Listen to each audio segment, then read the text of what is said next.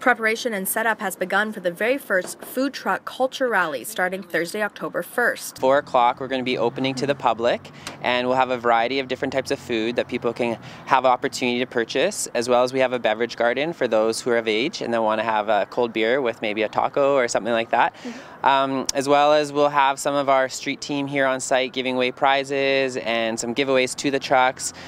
The big idea for us down the road is to have a permanent location for this type of night culture. So something that's earlier in the evening, that's family friendly, that's downtown Kelowna, so that in the summer months, um, you know, when we do have lots of tourists in town, as well as lots of locals looking for stuff to do, this is a free, family friendly event that's affordable, and we think that's really important for the Okanagan.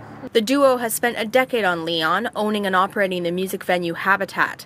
They know Leon is considered a less favorable street, and they are looking to change that perception. After after 10 years of experience in this neighborhood, um, you know, most people are trying to, you know, move on or get out of downtown, and we actually want to see downtown grow. So this is actually a, a you know, a personal passion. We want to see the street change. We know what's possible. There's lots of changes between the gospel mission and, and some of the new policies coming into place downtown. So as a, as a new project, um, after 10 years of celebrating our first business, we're starting the second uh, phase of development, which is going to be the night market, and understanding that it's all about partnerships and community, and that's what it's going to take to change the perception of this area of town. And we can't do that alone, so we're trying to set the table for success, and we hope that the community will come and join us here at the first annual Food Truck Rally.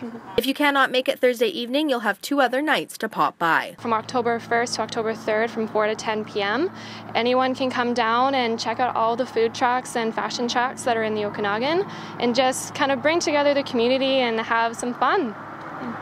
For Castanet News, I'm Carmen Weld.